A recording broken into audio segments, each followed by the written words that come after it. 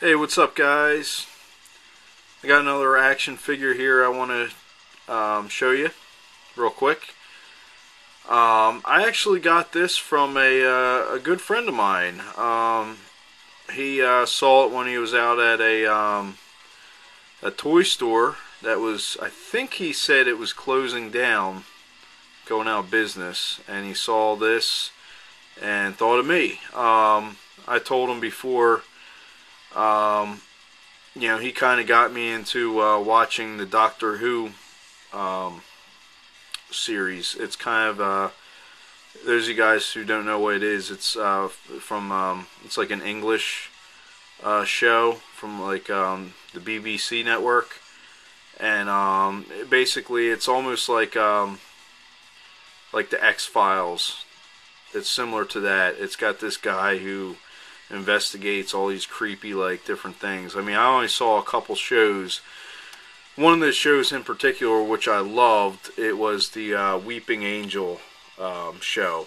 Basically, it was about these statues that um, you know would would terrorize people, and you know they would once you when you're looking at them, they would be in a statue statue form, and when you looked away, they would become alive, and they would you know terrorize you and keep coming after you until they killed you. Uh, it's called the Weeping Angels. Um, there's the uh, action figure there. Um, right here on the box it says it's 5.5 inches tall. Um, like I said, it looks like a statue. It's a Weeping Angel. Uh, Weeping Angel collector figure. Okay.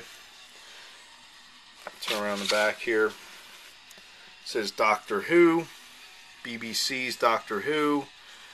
You got the Weeping Angel. You got, it says 11th Doctor in cowboy hat. Um, right there you got the Dalek Sec. Um, 15th Doctor, Sarah Jane Smith. Like I say, guys, I only saw the show a couple times, so I don't know all the um, different characters and actors and actresses. Uh, Rose Tyler down bottom. Um, but like I said, um, I, he picked this up for me, and I want to thank. I want to give a shout out to uh, Joey. Joey, you know who you are. Thank you for the uh, for the piece here. Um, furthermore, I didn't realize how expensive these were. I don't know if they're like a limited type of thing, but um, I saw on the bottom of the box here you can see that it's twenty dollars. You know, so I had to go, you know, investigate, and sure enough, on the different uh, buy sites, websites that I went to, um, you know, there are, all these are around twenty dollars and up. I mean, there was none that were cheaper. I don't know if that's what he paid because, like I said, this toy store was going out of business. He might have got cheaper than that, hopefully. Um, either way, I think it's a pretty cool piece. Um, I am going to take it out of the package. Um, actually, I'll take out the package right now and then show you guys one more look. Hang tight. Okay, guys, there you have it. Out of package. Um, popped out of the package pretty easy. Only had two little twist ties holding it in. But um, as you can see, the Weeping Angel statue, I just folded the uh, the arms out. They do move up and down, the, and the hands move can move the hands different ways. Um, the head stationary, but the wings move back and forth too. See that? I can do it like that. There's the wings.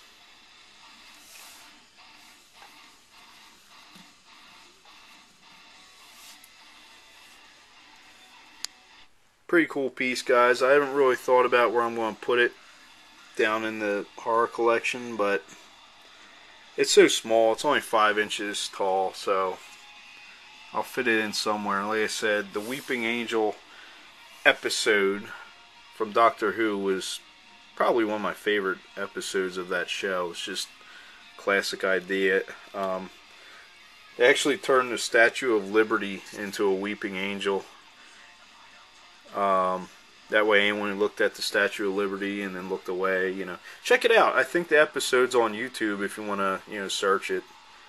It's just a pretty cool concept.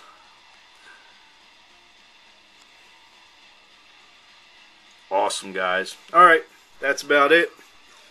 Let me uh, get the day started here. I got some stuff to take care of. I'll see you next time around.